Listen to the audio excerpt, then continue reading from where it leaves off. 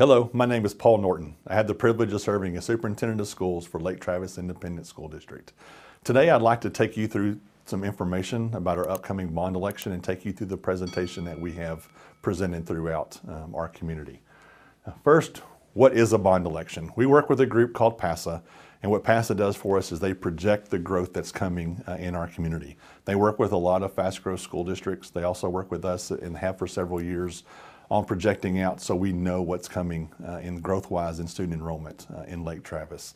Typically in the past, they have done projections every other year. We've actually done two different projections with them in the last 18 months just to see the impact of COVID has had on our community and knowing that we were having this bond election uh, in the very near future and looking at high school enrollment, we wanted to have really up-to-date information from PASA on that. So they give us different growth models uh, in their projections. They give us a low growth model, a high growth model, and then a moderate growth model. As a district, we always use that moderate growth model because it gives us um, some leeway on either side of that projected growth. Uh, even using that moderate growth model, when you look at our enrollment numbers uh, between now and 2031, they're projecting an annual average growth of 3.35% uh, in Lake Travis ISD in student enrollment during that time period. Also, they help us address the growth that's coming in our district. It helps us know where that growth is occurring, where we can expect to see that growth, what neighborhoods, what part of our community. That way we can appropriately plan for campuses as we add those uh, in the future. And the only way that we can build new buildings and new campuses as a school district is through a bond election. So that is why we have a bond election before our community now, uh, so that we can have the funds, if it is successful, to build these buildings uh, for the students that we know are coming to our community. And so the PASA report uh, is connected to this presentation.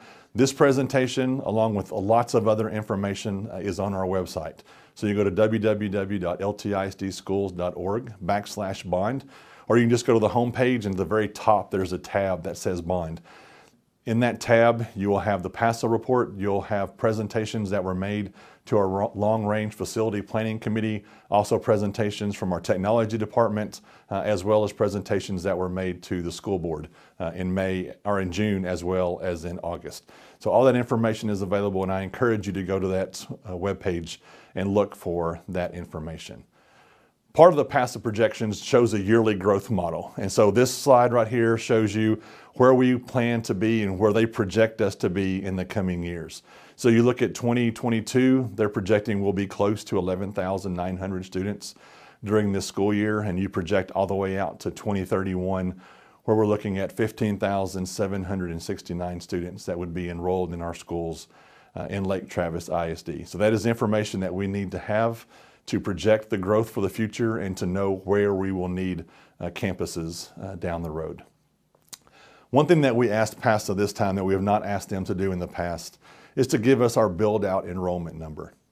Knowing that we're going to be having lots of conversation Uh, about the second high school and what those numbers will look like down the road, we thought it was very important to get that build out number from PASA.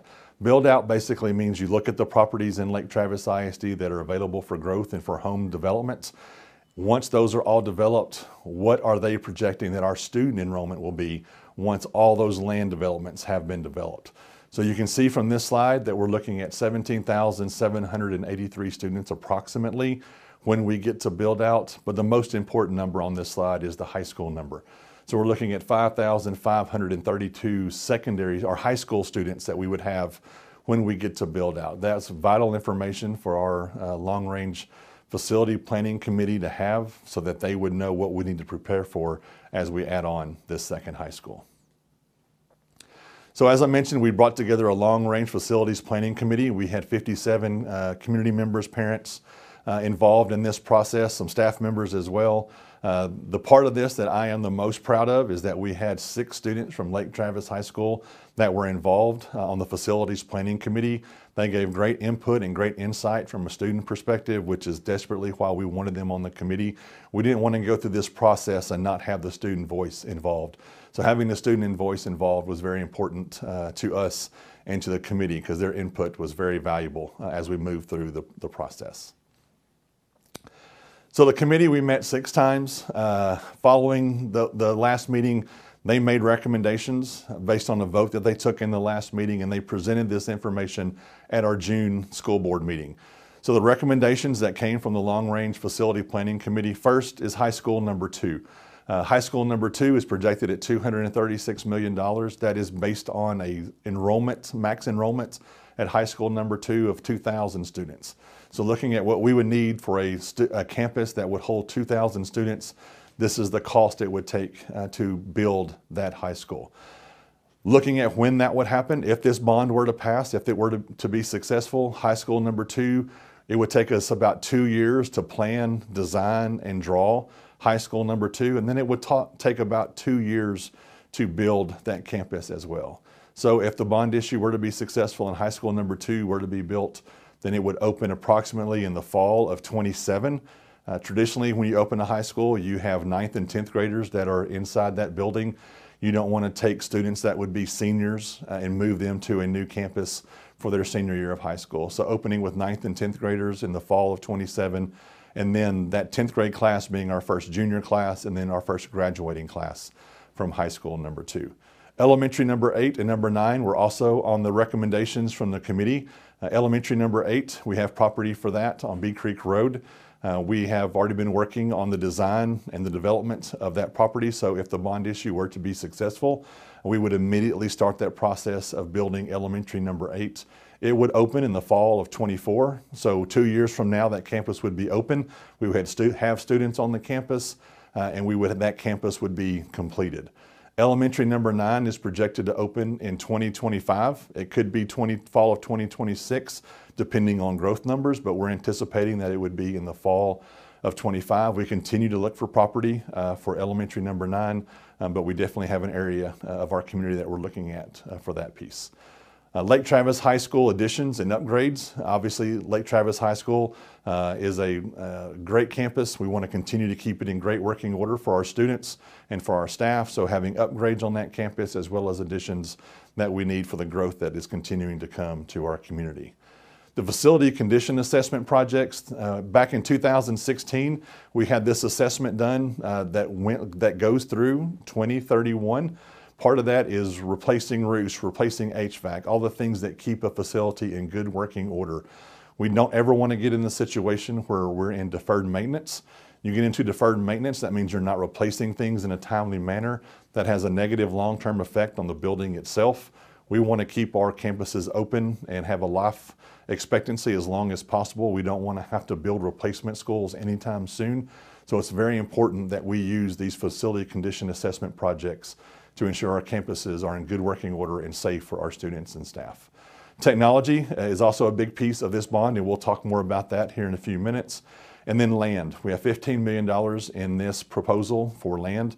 As we grow as a district, we're going to continue to need to purchase property for future campuses.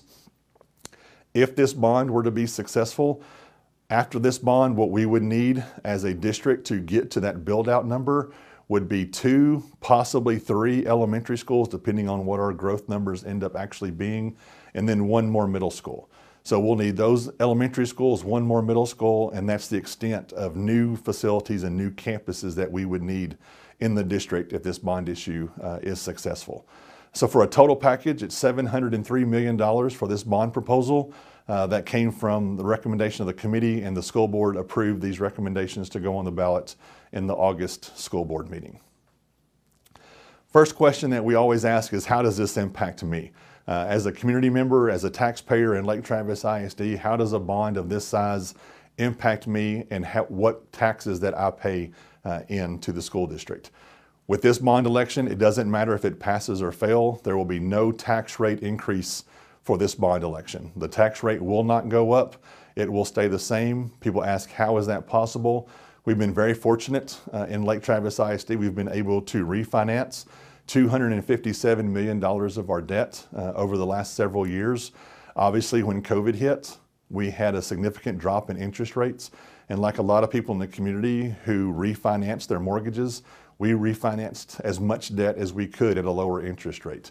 That allowed us to pay off about $123 million worth of debt early over the last seven, eight, nine years which allowed us to save our taxpayers $120 million worth of interest payments. So that allowed us to have some room in our I&S side of our tax rate to take on this debt without having to increase the tax rate. So that's vitally important for our community to understand. The tax rate will not increase whether this bond issue fails or whether it passes. Now, your tax bill may change. Your tax rate is just one piece of the puzzle when it comes to property tax. The other piece of the, proper, of the proposal is your property value. So if the tax rate stays the same, your property value goes up, then you are going to pay more in property taxes. The opposite is it's the same in reverse. If your tax rate stays the same, your property value goes down, then you pay less in property taxes.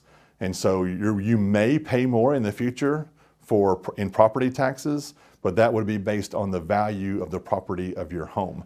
And so the tax rate will not change. Uh, it will not go up because of this. In fact, if you look at the tax rate uh, in Lake Travis ISD over the last several years, uh, starting back in 2013, our tax rate was at $1.4075. It has stayed, it stayed the same through 2018 at $1.4075. In 2019, there's some legislative changes that impact the compression of the tax rate. We were able to lower our tax rate, and since 2018, we have lowered our tax rate by 19.54 cents. So this year's tax rate is $1.2121. You compare that to the $1.4075 in 2018. Uh, we've been able to drop our tax rate by 19.54 cents uh, over that time frame. Another thing that our school board uh, has been great uh, at approving at their level is a local optional homestead exemption. So the example that's on your screen, you have an $800,000 home. You take 20% right off the top. This is something that is approved by the school board. The maximum amount that the school board can exempt is 20%. So the school board has done all they can on the exemption limit for this local optional homestead exemption. So an $800,000 home, that drops your property value, taxable value, by $160,000. The state has a $40,000 uh, homestead exemption. You take that off, so you're paying taxes on a $600,000 home as opposed to an $800,000 home.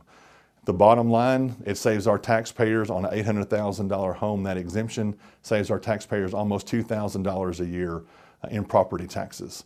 For some people, that's a significant amount of money. For some people, it's not.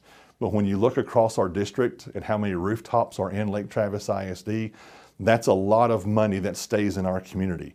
Those dollars would not come to Lake Travis ISD anyway. Those dollars would go back to the state in Robin Hood. But those $2,000 on that home stays in our community to use in grocery stores, to use in restaurants, to use in all the entertainment centers that we have uh, in our community. So as a property wealthy school district, we're part of Robin Hood and we have to pay recapture every year. For example, last year we paid $45 million in recapture back to the state of Texas. This year we will pay almost $70 million back to the state of Texas in recapture. So all the additional dollars that are being paid in property taxes, that people think come to the school district, they actually go back to the state uh, in recapture. So this $2,000 that the school board approves through this local optional homestead exemption on an $800,000 home is another way to keep those tax dollars in our community to use in our restaurants, et cetera, like we talked about a moment ago. So it's a very good thing for our school district that our school board uh, approves this for us every year. When you look at total tax rate, this is a conversation that comes up quite often. Uh, our tax rate in Lake Travis ISD is high. When you look at other school districts, um, we are on the high end. So I just wanted to look at some of that data and some of that information with you. So looking at the chart that's on the screen, you look at our tax rates. Lake Travis ISD right here is $1.2121. These are all the other school districts that surround us uh, here in Central Texas. All the school districts that are in red, those are fast growth school districts. You would expect a fast growth school district to have a higher tax rate because they're building additional facilities to accommodate student growth. The charts that are in black are not fast growth school districts. So you have Austin ISD, Eanes ISD. Eanes has been capped out uh, at build out for several years now. They are not adding additional campuses. Uh, you look at Round Rock and Del Valley as well. But you take our tax rate and you uh, basically put in the optional uh, local homestead exemption the effective tax rate is $1.655. That puts us at the lowest tax rate of all the fast growth school districts in Central Texas. And that's possible because of our school board approving the local optional homestead exemption, which reduces our effective tax rate by just under 15 cents. So that's something that our school board has continued to do to try to keep our tax rate down here in Lake Travis ISD. So what is on the ballot? Does the ballot look any different than in years past? And if so, how is that? So yes, the ballot does look significantly different. The last bond election that we had was in 2017, and there has been significant changes to the ballot uh, since 2017. One thing that is the same is you're either going to vote for or against the propositions as they are on the ballot. There will be three propositions on this ballot. In the past, we've always had one proposition on the ballot. And so these are broken out based on laws that changed in the legislative session in 2019. So when you look at the things uh, that have changed, uh, for each of these six bulleted items, if they are on the ballot, then they have to be pulled out into a separate proposition. So if you have stadium with seating that's greater than a thousand, and you're doing a new stadium or renovations, then that has to be a separate proposition. So you have created an athletics proposition by doing so. So we do have this uh, on our ballot. So we now have an athletics proposition. If you're building an auditorium or a swimming pool, we are not, but that's a separate proposition. A recreational facility other than a gym, a playground, or a play area. A gym is considered part of the campus uh, because you need to have a gym for PE classes. Um, so having that with the playground and play area obviously is something that all of our elementary schools have. If you are building a performing arts facility, then that has to be a separate proposition as well. If you're doing teacher housing, that has to be a separate proposition. And then the last is probably the most confusing one, the technology piece. So technology other than school security or integral to the construction has to be a separate proposition. So what this means is that you could have a proposition to build a school and that proposition passes. A proposition for technology fails and you don't, you're not allowed to put technology or you don't have the funds to put technology into that facility. And so this takes into effect all the laptops, desktops, uh, servers, uh, switches, all the things that make our technology devices available to students and staff and also make them run on the back end. So that is the technology piece. So we do have technology uh, in this bond election, so we have three propositions.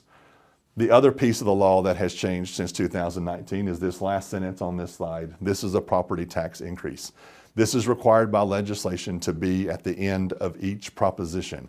And so that is to make sure that our community and our taxpayers know that you are generating tax dollars through your tax rate to pay off this debt, whether it's the debt that's coming in the near future or the far future, depending on when you um, sell those bonds. So our tax rate is not increasing uh, with this bond election, but this is required to be on there so people understand that dollars that are generated with the, the tax rate down the road is paying off this debt. So looking at the three different propositions, we will talk about these further, uh, each proposition here in just a minute, but I just want to highlight and make sure that you see at the end of each proposition this sentence that says this is a property tax increase. So for example, on your ballot, you'll have Proposition A, you'll have this language, and then you'll have a box to vote for or against. Same thing with Proposition B, which is our technology proposition. The very last line is this is a property tax increase, and then you'll have your box to vote for or against this proposition. And then Proposition C is the athletics proposition. Again, the last sentence is this is a property tax increase. After that, you'll vote for or against this proposition. So in 2017, you had one proposition that you voted for or against. This time you will have three separate propositions to vote for or against, and that is because of the changes that were implemented in 2019. So Proposition A, what is on the ballot for Proposition A? This is all the buildings. Uh, so you look at the two elementary schools are listed here. High school number two is listed here it's very important to realize, for example, that these numbers aren't the exact same numbers that you saw on the first slide with the recommendations, and that's required by law. So for example, high school number two, we mentioned earlier, that's $236 million. The part of it that is the building construction is the 176 million that you see on this slide. Technology for high school number two is in proposition number two. The athletic facilities for high school number two is in Proposition C. So you add all of those three numbers together, that's where you get the total amount for high school number two. Same with the elementary campuses, you have the technology piece that is in the next slide. So this slide highlights uh, how much uh, is dedicated to each campus and each department. Out of the bond issue, you can see the $15 million for uh, land uh, and development is also uh, in this Proposition A. And so this is all the information that we have regarding the proposals that are in Proposition A. Some of the specific items that are in Proposition A, you have the elementary shade structures. The elementary shade structures are really there for bad weather days. So on days that it's raining, it's bad weather. We've all seen the elementary campus where parents pull up and drop off one student at a time because that's where the awning in very awning is, which is very understandable. This would allow us to, to develop that awning more along the front of the, the campus. It would be very appealing. It would not be a, a bad look or a bad design. It would uh, complement the campus as it is and allow us to drop off and pick up six to eight students at a time like we do on a normal day as opposed to just one on a time, one at a time with bad weather days. Special programs, required improvements, that's for our special ed program. Uh, so as we grow our special ed programs, as we add special ed programs in the district, this gives us funds to make sure that we're meeting ADA compliance uh, on these classroom setups and able to generate um, more space for our students as these programs go. District-wide door hardware replacement, uh, some of our older campuses, they, the doors to the classrooms don't lock from the inside. Our teachers would have to go outside and lock the door if the door was not locked in an emergency situation. So this gives us the funds and the availability to make these classrooms as safe as possible uh, for our students and for our staff. Science classrooms, uh, we need to add six science classrooms to the high school. We need those for growth that's coming, but also we need those now as we're developing more science uh, STEM classrooms for our students. We want to make sure that we have classroom space uh, to accommodate this growth uh, in students as well as growth in programs. And then millwork, that is a replacement of cabinetry throughout the district. So as the cabinetry in classrooms, et cetera, wears out, it gives us the ability to replace those cabinets with this millwork piece uh, in Proposition A. Also, we want to do some improvements and renovations to the Performing Arts Center at Lake Travis High School. Uh, we want to um, redo some architectural finishes and, and do some renovations, not only in the Performing Arts Center, also in the black box and also in the lobby. Uh, we have a lot of events that occur in the PAC, some even community events that, that occur in the PAC. We want to have this nice as possible for our community. It was built in 1999. Last set of renovations was done in 2006. So it's time to do a refresher on the PAC and make it uh, a great facility for our students and for our community. The new competition arena would be a new gym at Lake Travis High School. Uh, the gym that we have now was built uh, in the 1980s. Uh, it has been a great gym for us. Uh, it was built when we were a 2A high school, and now we're a much bigger uh, district. We're a 6A district. We need a facility to accommodate the growth that we've seen and to accommodate the programs. Uh, just having a 2,500 seat arena at the high school for our volleyball, basketball programs, etc., would be a huge benefit to us and would also allow us to bring events into Lake Travis ISD so people could see the campuses and the facilities we have, but also to come to our community and eat at our restaurants and stay at our hotels to generate more dollars within our community. Another aspect of this bond issue that we're looking at is, a, is getting ready for the growth that's coming. We know the growth is coming. We've seen the growth happen over the last several years. We see the projections. We want to be proactive and get on the front side of the growth. So part of that is adding on to the administration building, adding more offices. As we grow as a district, we're going to need more folks in our business office, in our HR office, et cetera. Getting ready for that and preparing for that is something that we definitely want to do in this bond election. Also, the EDC in front of Lake Travis Elementary, we want to be able to add on to that piece as well. Uh, we have office staff that is in portable buildings at the EDC. We want to have some training space for our staff in the EDC as well. So this would be a huge benefit as we grow as a district. The new maintenance and food and nutrition services building uh, is something that we desperately need as well.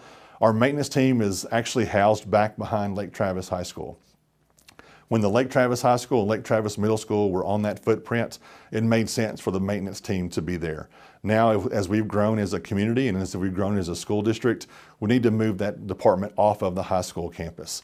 Number one, there's a lot of times during the day that our maintenance team can't get in and out because of the traffic at Lake Travis High School. as we grow as a, a, community and as we grow as a district, we want to get that department more centralized to where it's closer to all of our campuses. And so moving them over towards Bee Cave Middle School is something that we think would be very beneficial for the district long term. Same with our fans department. Having them have a great warehouse uh, and our maintenance team to have lots of space to be able to work on equipment and do the things that they need to do to help our facilities uh, in our campuses continue to look great. And the facility condition assessment, we've talked about that piece previously, but just making sure that we don't get into deferred maintenance and we keep our facilities in great working order uh, for our community. So Proposition B, Proposition B looks at the technology piece. So you look at high school number two, which is the third bullet on this slide, you can see it's almost $4 million for technology um, at high school number two. There's also dollars in there for elementary eight and elementary number nine. And then it lists out the different uh, facilities and campuses uh, in our district that would need technology upgrades. And so when you look at how we came to this piece, um, our technology department uh, did internal uh, audits uh, of where we are right now. They also looked at where we need to be in the future. We also contracted with True North Consulting. Uh, they do a lot of consulting in the realm of technology. They came in, worked with our technology team. They did lots of interviews, did lots of analysis. Um, they did uh, focus groups with different groups across the district. And then they worked together to come up with the final proposition. Proposal would be um, for our long range facility planning committee, and that was presented to them at the April 12th meeting. So a big piece of the technology is also obviously the life cycle. A lot of the technology doesn't last very long. Uh, it has a short lifespan compared to other parts of a district. When you look at laptops and desktops and monitors and servers, those things last five years. So a great example is Bee Cave Middle School. People talk about Bee Cave Middle School and that campus is a brand new campus. Why do we need to replace technology there? Well, this is the fourth year of Bee Cave Middle School. When you look at the life cycle of these devices, so many of them only last five years. So actually the technology at, a, example Bee Cave Middle School would need to be replaced twice in a five to seven year bond cycle, which is what this bond cycle would be. And so that is all embedded in this technology budget uh, for this bond election. And obviously you look at the other, the security cameras, the, document cameras, the LCD projectors, they're all projected to last seven years. And at the far end, the cabling is uh, 15 years. And so obviously we have those on a cycle to be replaced because we don't want our technology to go down and our, our students and our staff to suffer because we didn't plan well in the life cycle of these devices.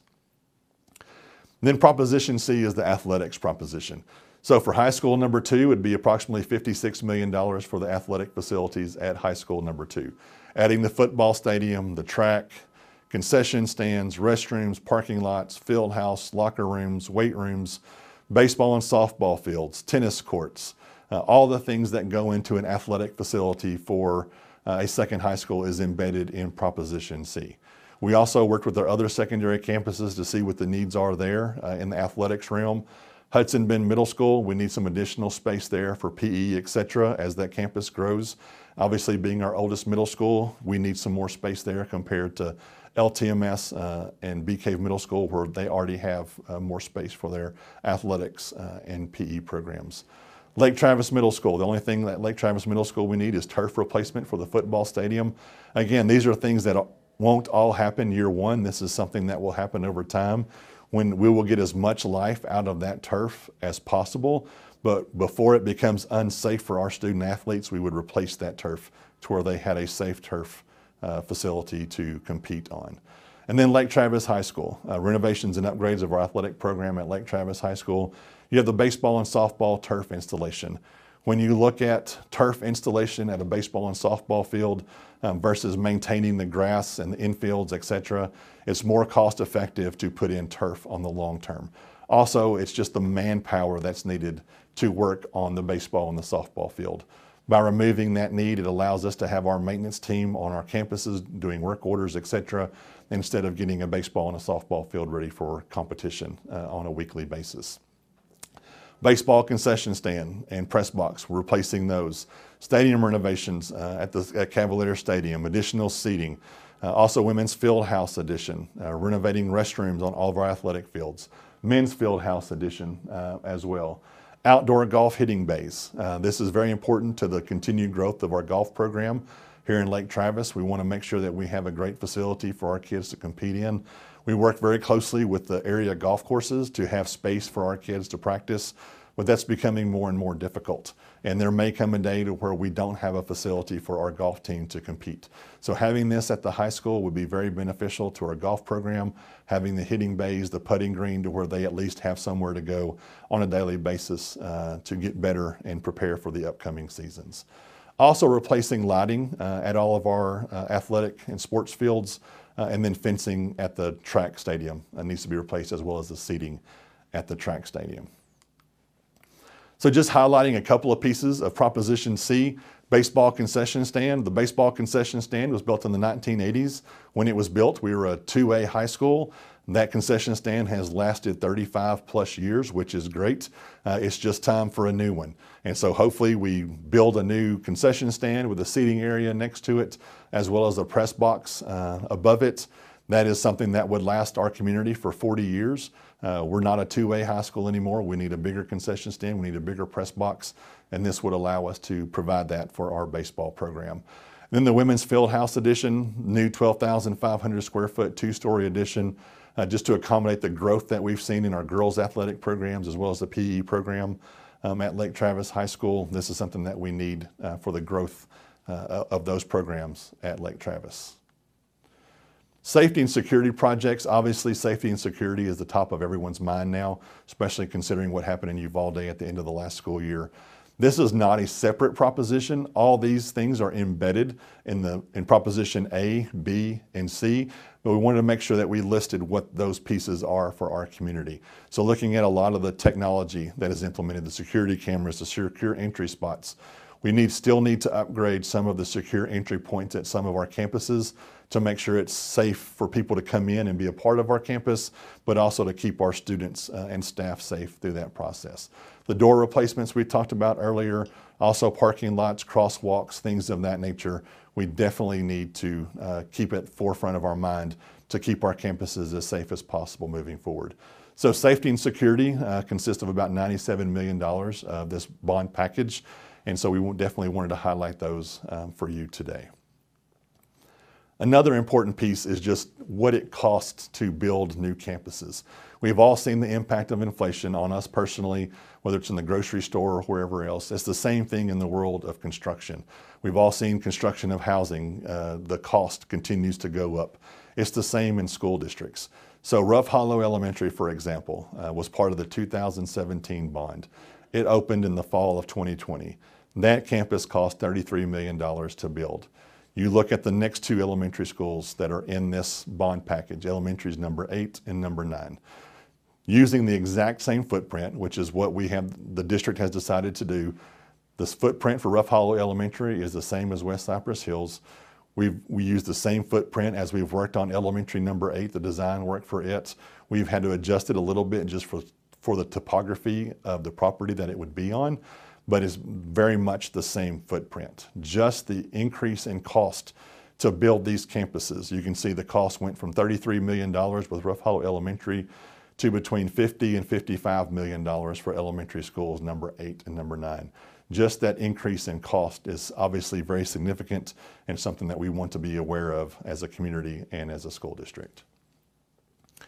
And then you look at the bond history for Lake Travis ISD. Over the last 20 years, this is the list of bond elections that we've had as a school district. You look back to 2017, it was $253 million. This year in 2022, it's $703 million. That's a significant increase. But also, you, we all need to realize this is a bond election like we have never seen in Lake Travis ISD. This bond election has the second high school on it. We've talked about the second high school in our community for many, many years. This is actually addressing that and putting it on the ballot for our community to consider. Also having two elementary schools, that's a significant cost, especially when you see the cost of inflation in construction and also the other properties getting us ready for the growth that we know is coming. And so we know this is a significant jump in the cost, but when you look at our build out numbers, you look at the future bond issues for Lake Travis ISD, what we will need, if this bond issue were to be successful, what we would need as a school district to get to that build out would be two, maybe three more elementary schools, depending on what that true growth number is at the elementary level, and then one more middle school. Obviously, we're not going to need another high school if we build high school number two. Two additional uh, elementary schools, maybe three after this election, uh, if, if these were to pass, would be all we would need for elementary schools, and then one more middle school. So the $15 million in, in land purchases is that's embedded to get the properties for those uh, elementary schools and potentially that middle school down the road. So lots of important information here. Early voting begins on October 24th and runs through November 4th. And then election day is Tuesday, November 8th. As I mentioned earlier, there's lots of information on our website. So where you can find more information is you go to ltisdschools.org backslash bond. There's lots of information. This presentation is on there. There's also a FAQ, so a lot of frequently asked questions that we have received as we've gone and done presentations in the community and throughout the district. We've answered in that FAQ, so please go through, read that FAQ, see if there's some, things that uh, are of interest to you that you would want to consider. If there's other questions that you may have, please, please, please email at info at ltisdschools.org. There are several of us checking that email account. Please feel free to send in any questions that you have about the bond election to that email address, and we will definitely get you answers um, to your questions. So again, all this information is at ltisdschools.org backslash bond. Please feel free to peruse that information. Let us know if you have any questions. Thank you for watching this video and have a great day.